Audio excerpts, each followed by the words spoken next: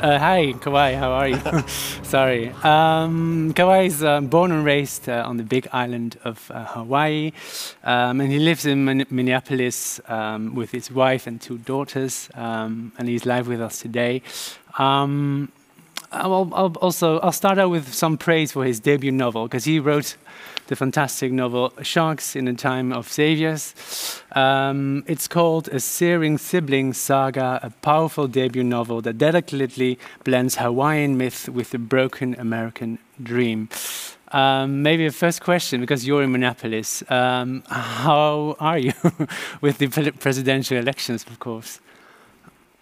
Yeah, the presidential elections are it it's an it, it's an interesting time in the United States. It I suppose it is it is an election that is befitting of what the last four years have felt like, meaning uh, very very anxious and and and frustrating and full of misinformation yeah and that's you know in many ways is the state of our country so yeah. i think for most most citizens of the united states right now i think really it's a time to be patient and to trust that the state and county officials that are in charge of the elections in their mm. specific jurisdictions are doing the right thing and that if if the law requires anything of them that they will deliver on that and the rest of us just need to wait and let the process take its its proper yeah. course and when it's over we'll know how many votes have been counted and we'll see yeah because Minnesota is well most people vote for democrat right like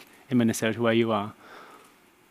Yeah, it sort of varies. So you'll notice that what we're seeing more and more, the results of the election, specifically in Minnesota and and down to the level of the the sort of the state of Minnesota, you can see that there's a very there's emerging in the United States a very strong indication that the parties are starting to split on what looks a lot like a rural and urban divide. So mm-hmm. people who live in the more rural, remote parts of a given state anywhere in the country are much more likely to vote Republican. And the people that live within the urban areas, whether that's right in the middle of a city or if they live right on the edges of the city, they are voting, they are voting more and more Democratic. Yeah. So we're starting to see what looks more and more like a, a, very strong partisan divide between people who live in the more rural parts of the, mm-hmm. the state and people who live in the more urban parts of the state.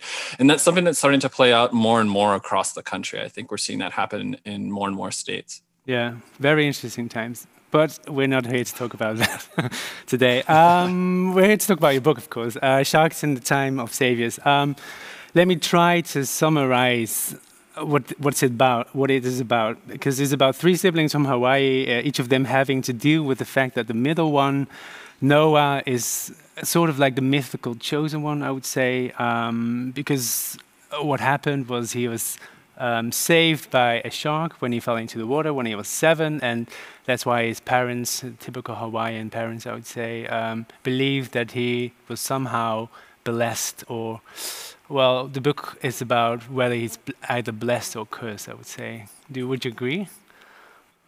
Yes, yeah, I would. it really becomes a question of, you know, to what degree the things that they are experiencing and they're they're seeing happen are whether their interpretations are the correct ones and everybody has their own interpretation. And so at the same time as they're interpreting what they're seeing the question also becomes well what does that mean for not only for Nainoa but for the other siblings in the family? And if he really is something special then what does everybody else what other role do they have to play in that story? And if he isn't this this somebody that's like the chosen one then then what does that mean from all of them as well yeah, because he sort of manifests healing powers well during his childhood, and as I noticed that a lot of uh, di different um, Hawaiian mythological elements. Um, I was wondering how uh, did you grow up with these myths and all these tales of gods and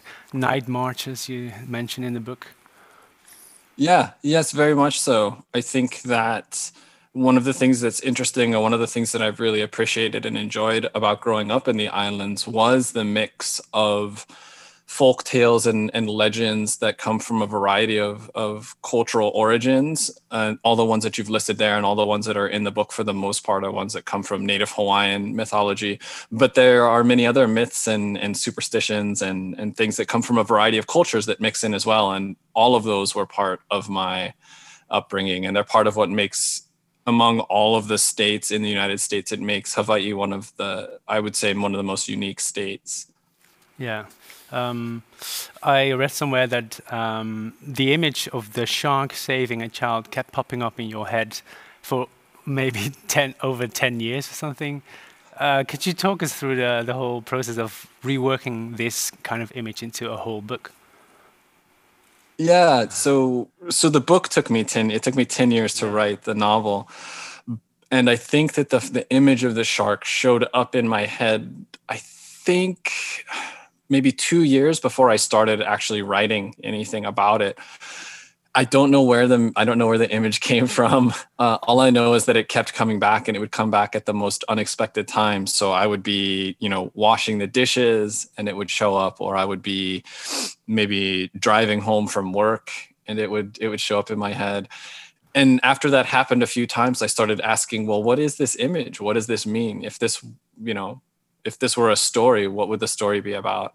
And I think because it it wouldn't go away and i started asking questions then i started engaging with it. And then it became something it was like well is this something that i should be writing about? What is this? And i decided that it seemed like something that was interesting enough to see if it would work as a story. And then there was the question of whether it was worthy of being a novel or is it just some sort of short story? And it expanded from there because i started to ask questions about a, a family. For whatever reason i think that when i was the image of a child in a situation of distress, at least for me, it often makes me wonder about the family, the larger family around that child. And so with this image and the idea of of a child being being rescued from drowning by sharks, the next question for me was, well, who is this child's family? And so that brought up the questions of who the family was. And I started to play with those and see what that built out as far as whether it would be a story or a novel. And the more time I spent with each of the, the family members trying to understand who they were and what this event meant to them, the more it felt like something that was rich enough to build a novel around. And, and that was when I started sort of looking at it as a, a novel sized project.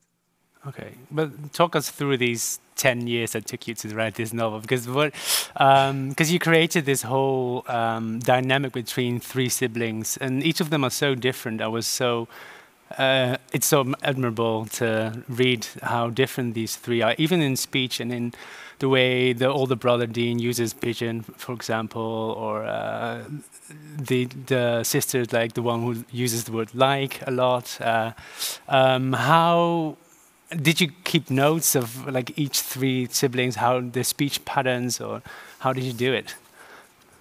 Yeah, so that was probably the first. I think around the first year or so of work was really understanding each of the characters, each of the main characters, the siblings and the mother, and starting to get a sense for who they were in the family and what they thought of themselves and what they thought of the other siblings and their parents and what the implications for those things were in terms of how they interacted with the rest of the world. And so you see in the case of, for instance, Dean, I, he was a character that I started to build out that I I wanted to explore the idea of the kind of resentment that would build between siblings and the kind of rivalry that would exist and what that would mean in terms of who Dean would become if he's if he's seen not as like the chosen one within this family's myth of itself.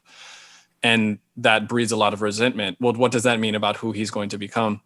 And I thought it was also worth sort of looking at him as a very sharp contrast with Nainoa in terms of his intellectual engagement with the world because he's he's much more of a physical character. He has a much he has a very simplified view of the world, and so I built out his language as somebody who doesn't spend a lot of time thinking about things in really complex intellectual terms and doesn't have a much more sort of poetic or or lyrical interaction with the world. And so his his his speech patterns came out as a result of that. And and both that and yeah him kind of rejecting his role with his his brother and and so Kaui was the same right it was a question of yeah. like okay well she's in a different sort of situation um, but she's maybe somebody that approaches things intellectually equal to the way that that Nainoa does, but is still in this rivalry situation, then what does she seem like? And so it was kind of going back and forth between both understanding who they were as characters independent of each other and understanding the dynamics between the characters and the implications of all those things in terms of how they interact with the world. Yeah. So uh, are they based? a huge on, challenge. Are they based on people you know? I mean, especially with the speech, they're not. No, no, they're not. You know, I'm I really made a conscious effort. I I don't think my life is very interesting. I wouldn't want to read a book about my life. I don't think anybody else does. And so the characters are created completely from the ground up, which is part of the reason it took so long. Uh, but I did also want to include, in terms of just the language itself, I really wanted to include pidgin and yeah. the sort of Hawaiian patois because it's it is to me such an important part of of the culture of the islands. It's a very it is a very unique way of speaking, and I think it has its own creativity and fluidity and and rhythm, and those things are all a part of being in the islands. And so I wanted people to feel when they're reading the these characters, I want them to feel transported into into the reality of the islands, and part of that is is pidgin. Yeah. Uh, so I spent a lot of time trying to figure out how to make the rhythm of the language work on the page, but also to do it in a way that made it it possible to read it and feel the rhythm without getting too confused by all of the apostrophes and and sort of the written marks you could use to kind of show the language so what was the hardest part of this whole process of distinguished voices in this novel? Uh, keeping them uh, keeping them distinct from each other and true to the characters. So considering who each character is and having to craft a unique language that expresses that that character, especially since they all had different levels of of approaching the world that that implied a different type of language. so it was it was very challenging. It's very difficult, uh, and I think that also trying to do those things and keep them. I did a little bit of work to try and make their language change over time. So early on, I tried to make their language more indicative of being young in the islands. So they're younger children at the start, but in the later stages of the book, it's it spans about 20 years. And so by the later stages of the book, they're much older and they've spent more time away from the islands. And so their their language has changed as a result of living in different places. So having the language change and, and sort of mature over the course of the book, along with their the level of their patois changing over the course of the book Wow. Yeah. Is and that, keeping that true to each specific character. It was like a huge challenge. It was very yeah. challenging. I don't want to be the one to say this, but uh, is it also based on how you your own speech pattern has changed? Because you've moved to Portland when you were 18, right? So yeah, is it based on that? Can I say it, that? To some extent, it is both like observing that in myself, but also observing it in friends and people that I had known from the islands that had left and come back or had you know, started living in a smaller town and then lived in more urban areas and had gotten older and the way that your language changes over time as you acquire more knowledge. It was it was definitely observing both myself and and other people I knew from the islands that had lived in other places and had their mm. language change as a result. Yeah, talk about like Hawaiian identity. Um, I myself always struggle with the idea that I've also written a book about um, uh, identity, so Chinese identity in the Netherlands, and I was wondering how you, as a Hawaiian American, see that. Did you ever struggle with I don't want to be seen as the one that wrote a book about Hawaii, or or not? Yeah, yeah, I think that it's something that is. So I think it's important to mention that like my I have a very interesting and complex identity that has been informed by a lot of different experiences in my life. So I, I grew up in the in the islands. I was born and raised there. Um, I, I have a Hawaiian name, but my parents came to the islands from other places. So my mother is black. She's an African American, and she and my father. My father's European American. He's white. We use the term white in the United States mm. for something like that. Um, they met in Hawaii and I was born and raised there, but my identity extends back into those other places that are sort of external to the islands. And so my identity is this combination of being very specific to the islands, but also being informed by the history of my father and mother's uh, lives outside of the, the, the islands. and so in writing this book, I, those things were all considerations. But because there are so few novels that have that have been written from the perspective of the islands, mm-hmm. there it has been a challenge to not have the novel be there's this reductive expectation that because most people have not encountered very many books from Hawaii, that at some level this book is going to be should be held up as an example of of speaking for the entire island or mm-hmm. things like that. And it's just not possible. It's no more possible for me to speak for for the entire population of the Hawaiian Islands than it is for any one person to speak for any larger group of which they are a member, but are just a unique individual within that larger spectrum. Mm-hmm. And so when people, I think when people try to ascribe a single individual this sort of broader mouthpiece for a larger group, it's because at some level they're they're simplifying that group and thinking that there is one specific narrative or one specific story that will somehow like explain that entire group. And that's not true of any group whether it's a gender or you know a sexual identity or an age right? So people who are mm-hmm. are any of those different groups are going to have entirely different experiences from each other and yet still be members of that group.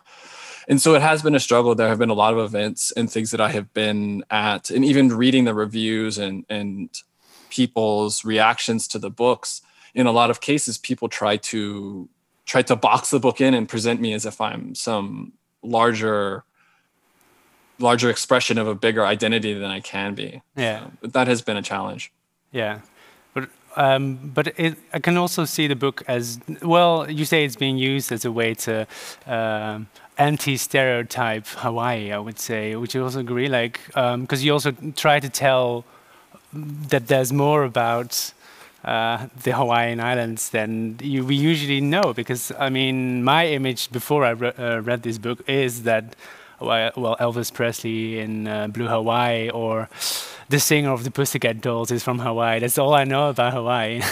so yeah, yeah. How do you see the, your book as a, being a part of that discourse? Yeah, that's one of the reasons that I wrote the book. You know, a lot of the writing that I did earlier on when I was just being published in sort of smaller art magazines in the United States, and you know, there's maybe one or two thousand people that that read this magazine, and I get published in it. Most of that fiction is not based in the islands, and I think the more time I spent away from the islands, and and the more that I realized what an important part of my identity was, how central it was to how I experienced both the United States and the world as a whole, the more I started to be troubled by the way I saw the the islands being rendered, both in the United States and abroad. You know, I would oh. travel to different places, and people would ask, "Oh, you're from Hawaii? You know, um, this, the only thing I know about Hawaii is blue Hawaii or this thing or that thing." And so I wanted to sit down and write something that I felt presented the islands in a different way than I think than most people had seen. Yeah, because how important is it still for you to, even though you've been away from the islands? Um, well, I'm just referring to your daughters because you're raising them. Are you raising them as like uh, you you guys are from Hawaiian descent, or you're just super American? How do you see that? I I want them. I I'm I hope that there is some part of the culture of the islands that they experience enough that it becomes a part of their identity. It's a, it is a challenge because the rest of the United States are so different than than Hawaii and Minnesota is very different than than Hawaii and so I I think that trying to take stories and songs and things like you know hula from the islands and and to keep exposing them to those things is one part of it we're hoping we'll be able to travel to the islands and spend some time there and see my family that's there when obviously when the coronavirus has been brought to a place where it's safe for us to travel we're hoping to visit there we've already done that before and i hope that we have the chance to do that periodically enough mm. that they my children can have memories that are rooted in the islands such that they kind of kind of extract some value from those memories in a way that helps them build an identity that that yeah. keeps the island as part of that as well yeah. Um, I would also say that there's a sort of like a strong hint of um, the influence of like the mainland, well, America, on the islands since the 19th century. Um, was that a, was is that how people feel in Hawaii nowadays, or did you? Uh, well, no, I wouldn't say it's exaggerate, but did, did you put it on, lay it on thick, or how Do I? How did? Uh, no, I, I don't think so. You know, I, I I tried to present. I tried to present the islands and the United States, the greater United States, both in contrast to each other, but also as a clear like interaction, right? Like there's friction between the two, between the influence of the United States on what life is like in Hawaii. And some of that is good and some of it is bad, but then there are also ways that they're completely different and and there is no overlap and so i tried to find ways to to show the parts of the islands that are very specific to the islands and mm-hmm. very rooted in the islands themselves as well as the parts that are american and and sort of the interaction between those two and i think that for anybody that lives in the, in the islands I think that you experience those things on a daily basis because you see things that are not from the islands all around you, but then you also see things that are purely, you experience things that are just from the islands. And both of those experiences happen on a daily basis. Okay, yeah. Um, the mel- the mother in the book Malia, um, she also she always talks about coming home. Um, there's always the pool of the islands uh, in each of the siblings. Um, and I would also say that the book is also about escaping your legacy. Like um, you don't want to uh, stay in the narrative that's always been told about you and where you're from and what else. So is it is it possible to read the book that way. Like it's like an escape from. Uh, I would say becoming differently from your parent, turning out differently from your parents, for example, or from yeah. Yeah, yeah, absolutely. I think that the one of the things that the novel looks at is is the idea of sort of the conflict between your your heritage and what that means in terms of the narrative that your parents or your ancestors have for you and your own personal narrative and what you think you are and what you want to become and if those two things are in conflict with each other you know what does that mean? What does that what does that mean about life? Or how does your life feel when those two things are in conflict? And when those things are happening at the same time as these other things that we're discussing where like the place that you're from and the place in which you're living are also in conflict. So having all of those things at the same time inform what you think your idea of yourself is. And so those things are all what the book is asking but it is also asking the bigger question of this idea of of a savior or the idea of the like the chosen one and whether that's something that is even really true does it ever exist? Is there ever a single individual that can make such significant changes that we we should be depending on a specific individual or is the reality much more complex than that and most people are kind of tied up in in doing things in the world in a way that you cannot separate one person's influence from another's and say that that one person is a chosen one so yeah. it's all of those things at once Yeah, I also do recognize when reading this book as a child of migrants that um, you either sometimes you hate where you're from, and sometimes you you're super proud of how, how your parents are, and I can really feel that in this book as well. There were a mu- yeah, yeah, absolutely. Yeah, um, yeah, yeah, it was. Yeah, um, I also have, well, I read somewhere that you're a climate change advocate, climate policy advocate. Is that true?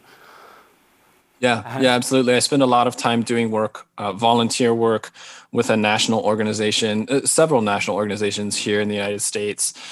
And the work that we do is at both a state and and national level, and it's work that has been ongoing for for quite some time. And it, really, what what I'm trying to do, or what I'm trying to accomplish with these organizations, is to implement a national climate policy that you know that moves the United States in the right direction that that not only recognizes the scientific fact of climate change but after recognizing that fact asks well what can we do in the United States what is politically viable in the United States to start making the changes we need to make. And those have to happen at a national level economy wide and so right now we're focusing on on a climate policy that prices prices carbon emissions correctly, so recognizes the the effect that carbon has, the actual cost uh-huh. of of burning, you know, emitting CO2, and then takes that thing and and and and um,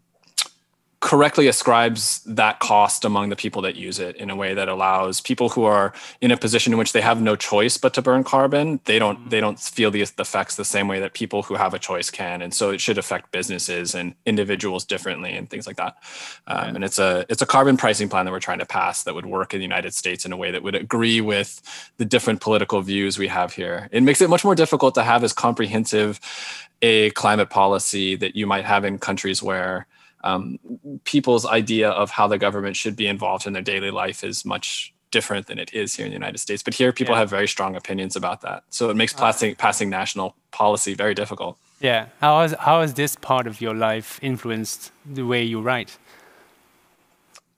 Has I, it? I think it does absolutely. I think that the the ways that it influences my life is obviously I wouldn't be doing the work that I do in climate if I didn't believe in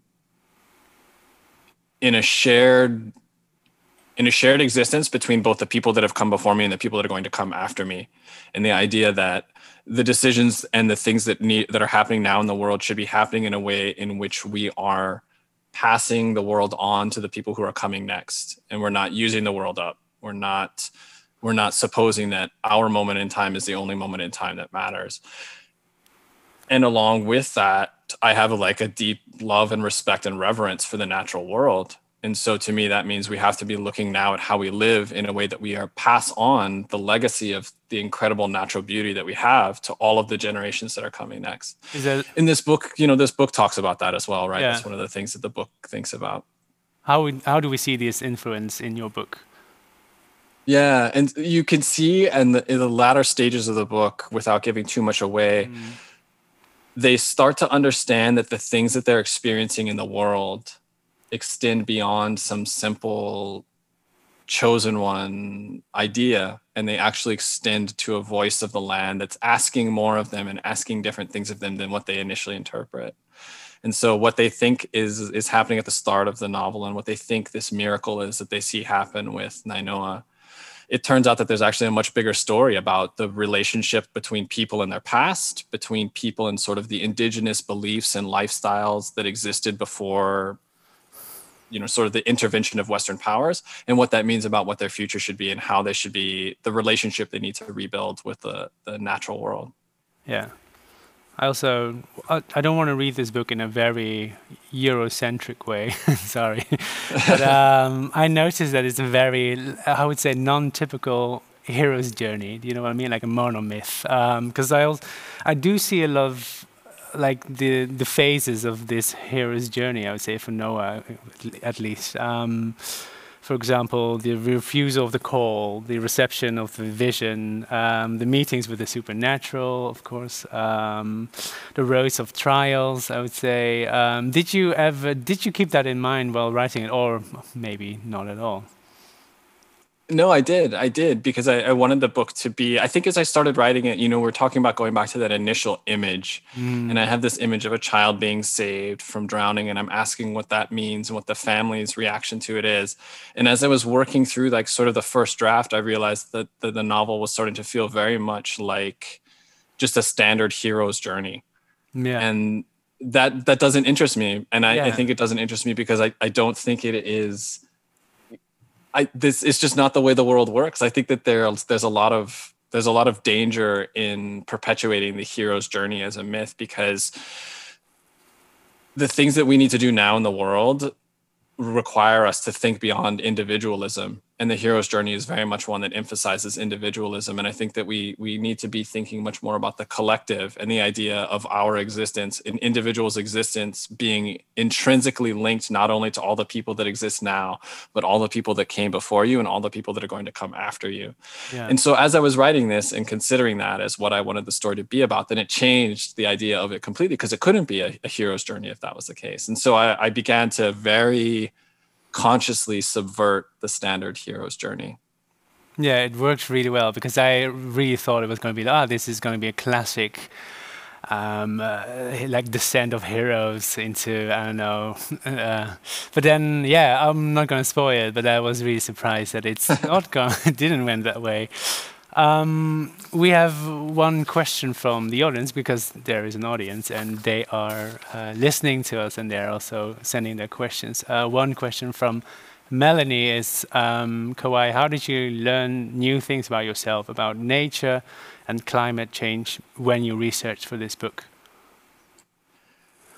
One of the one of the things that I I suspected, but I wanted to spend time understanding you know as as much as i could was to what extent have the living practices of more ancient cultures were they were they more sustainable than what we have now right? Or have we always sort of been in a struggle to use up resources too quickly and things like that and I got to see all of these really excellent examples of indigenous practices, both in the continental United States and in Hawaii, that showed that out of necessity, you know, when people were living much closer to the land and they required a very intimate relationship with the land in order to survive, they had practices that were much more in line with with maintaining that that natural that natural world in a way that put them in a much more symbiotic state as opposed to just sort of an extractive state.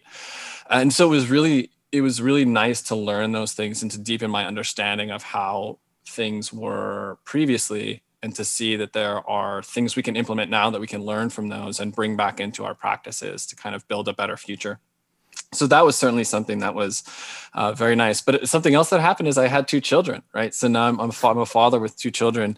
Yeah. and when i started working on this novel I, I did not have children. And so the experiences i have now as a parent and had as a parent over the course of doing the revisions informed my thoughts about the the connection between parents and their children and between not only those children everybody everybody that came before those children. So i you know having experienced the birth of my first daughter i had this very incredible this this sudden i could feel the connection between myself and everybody that came before me wow. flowing through me to my daughter in this really really powerful way. And so I suddenly understood myself as being part of a much bigger picture than just myself or just myself and my parents, but mm-hmm. myself, my parents, everybody that came before my parents, and everybody that was associated with them in the islands, and how all those things link together to these issues of sort of, you know, the the past and the way people were living in the past. Yeah, you can see that really well in the whole story that you're telling in this book, right? The whole idea of the people that come before you, all the, the, your ancestors. There's a word for it, right? What was it like a spirit? I wouldn't say spirit animal, but an spirit in the shape of an animal. That's what's the word for it?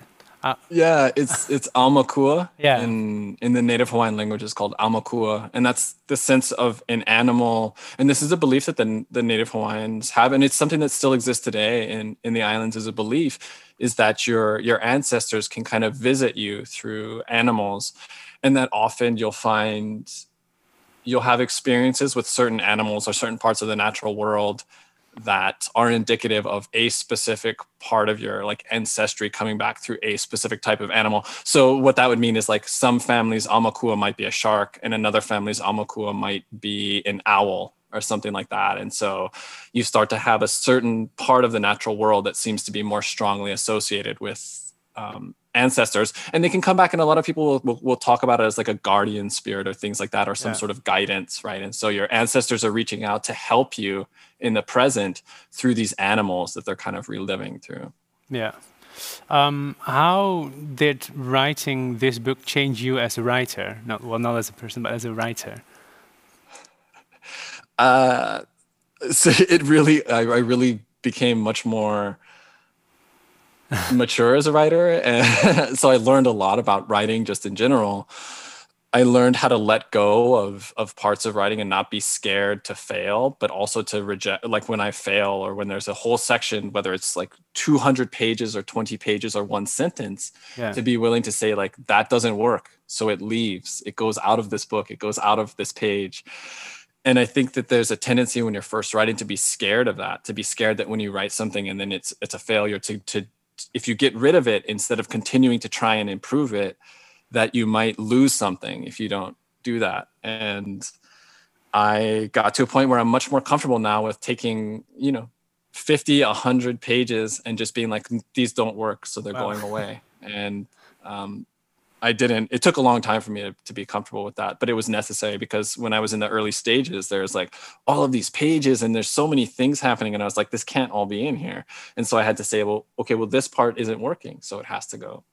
Oh wow! Um, it, I'm also starting to write and write a novel next year. So that's that's your main gist that you got from debuting your first novel. Yeah, Okay, yeah, just I just got much out. more comfortable with with failing and just being like, I can throw this all out. You know, I can write, you know, I could start writing a novel and be like, this isn't the right novel. I could write 300 pages and be like, this it doesn't work, and just start over. It's time to start over. Sometimes you have to do that. sounds, sounds, scary to just throw away stuff, but yeah, okay. Um, we've got another, another, question from the audience, uh, from Nick. Um, he asks, he's asking do you feel the way do you feel that the way you wrote this book changed when you had your children i think i think that there are sections of the novel without giving too much away there are parts of it in which i was writing from the perspective of parents but a lot of that writing happened before i had children yeah. and revisiting those sections after i had children and as i deepened my connection with my children the revisions for those sections i think became much more effective because before i was having to imagine what it felt like to be a parent.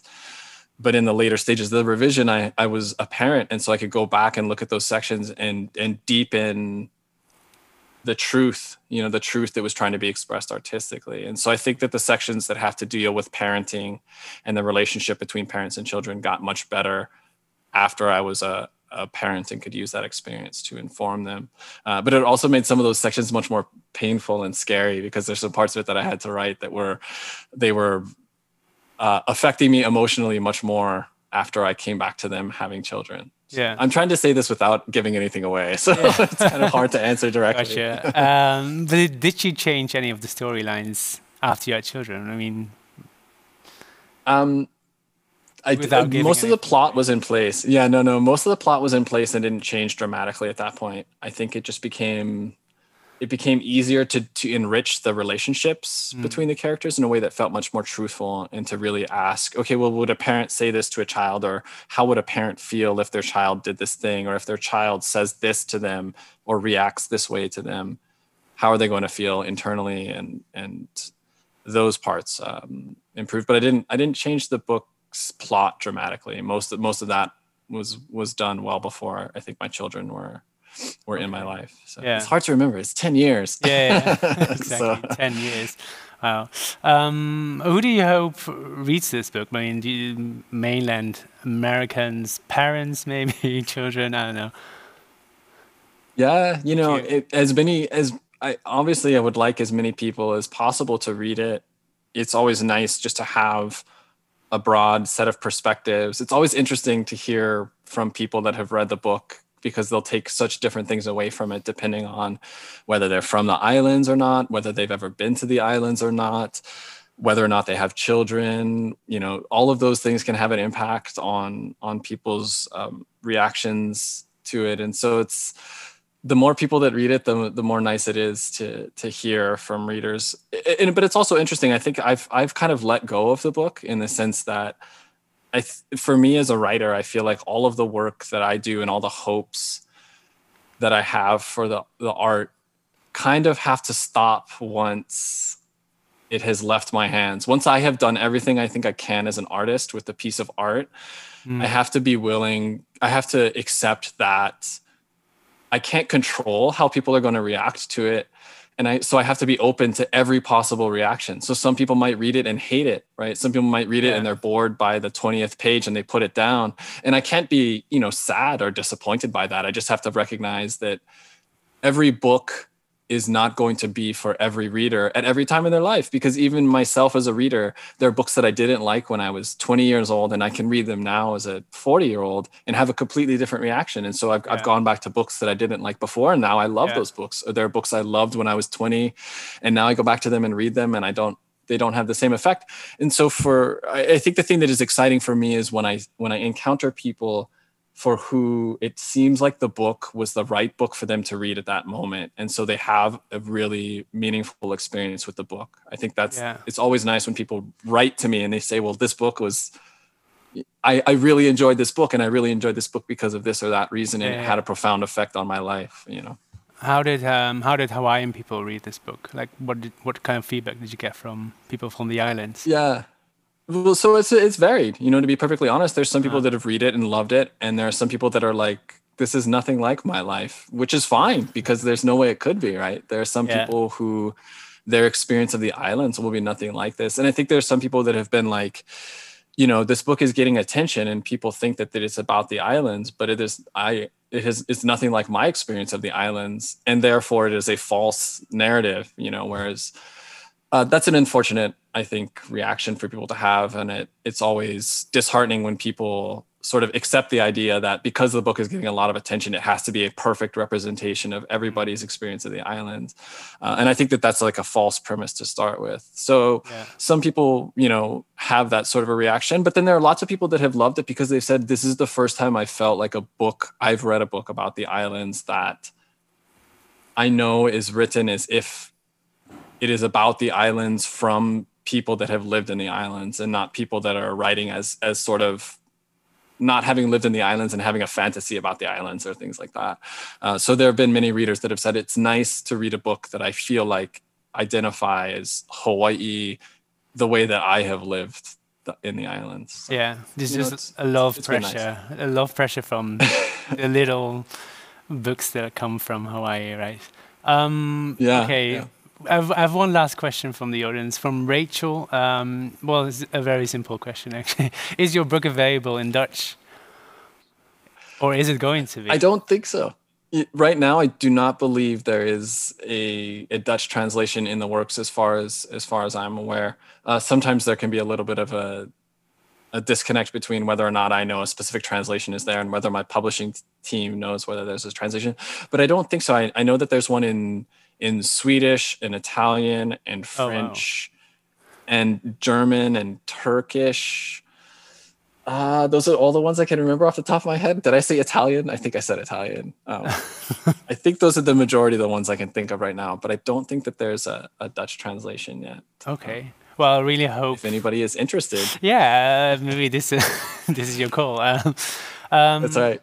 Yeah, maybe one day in the future. Um, Yeah. Uh, I would like to thank you for this conversation all the way from Minneapolis. Um, I think you should go back to watching the elections, right? So, I have to work. I can't. sorry. it happens in the background, and I have to, you know, I have to go back to work. But I, you know, I'm certainly watching the elections, but they they're moving slowly. Everybody is being very careful and following the law and counting the ballots legally, and so it's a slow process. And I think a lot of people are obviously emotional and impatient. So I'm I'm trying my best just to be patient. okay. Well, thank you and good luck. And I hope to meet you one day in real life. The same. Yeah. Yeah, the same. I, w- I wish I could have traveled to be there in person. It would have been nice. It would have been nice to meet you in person and to see um, to see the Netherlands. I've never I've never been, so it would have been nice. to Very welcome. Some other time. Okay. Good luck. Thank you. Thank you.